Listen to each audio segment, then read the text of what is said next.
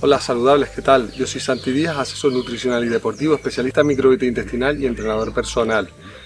El día de hoy vamos a hablar de la vitamina D3, cómo tomarla y los déficits que pueden haber debido a esta vitamina del sol. Normalmente cuando me vienen a consulta muchísimos pacientes, pues vemos en sus analíticas de sangre que hay un déficit bastante considerable de vitamina D3. La vitamina D3 tiene un co un cofactor muy importante a nivel metabólico y a nivel de la microbiota intestinal. También actúa cuando hay gente que tiene osteoporosis y no puede fijar el calcio en la sangre.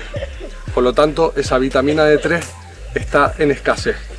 En las analíticas podemos observar cuando vienen de laboratorio que esa vitamina D3 en escasez siempre está en valor de 20, valor de 30 y hay gente que la tiene incluso a 8 nanogramos por mililitro. ¿Qué significa eso? A pesar de que en el laboratorio nos dicen como que es algo normal tenerla a 30 nanogramos por mililitro, nos está diciendo que hay un déficit importante en nuestra, en nuestra sangre de vitamina D3. Lo ideal para tener un sistema inmunitario potente, fuerte y unos huesos que estén siempre fijando el calcio correctamente sería una vitamina D3 siempre pasando el rango de 70 nanogramos por mililitro o picogramos por mililitro, depende de la analítica, eh, la lectura que podamos proceder.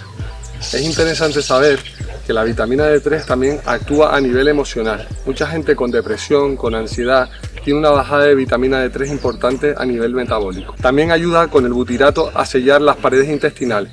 Para todas aquellas personas que tienen permeabilidad intestinal, la vitamina D3 es una vitamina completamente indispensable y no puede faltar nunca una buena cantidad de vitamina D3 en el organismo. Luego también es importante saber que la vitamina D3 ayuda a prevenir lesiones, lesiones o patologías como la artrosis, la artritis, problemas reumatoides o también a nivel de articulaciones como pueden ser de tobillos, muñecas, rodillas, codos. Todo eso es importante saberlo. La importancia de la vitamina D3 en nuestro, en nuestro metabolismo.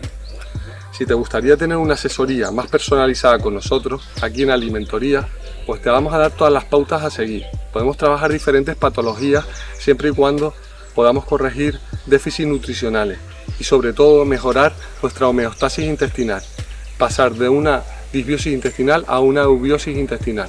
Si, estás interesado en coger una cita con nosotros, te lo voy a dejar en los comentarios. Si quieres ver eh, o seguirnos en nuestras redes sociales, la voy a dejar por aquí arriba. Y para cualquier comentario que quieras dejarnos, pues nos lo dejas. Vale. Cualquier cosita, hasta la próxima, saludables, nos vemos, chao, chao.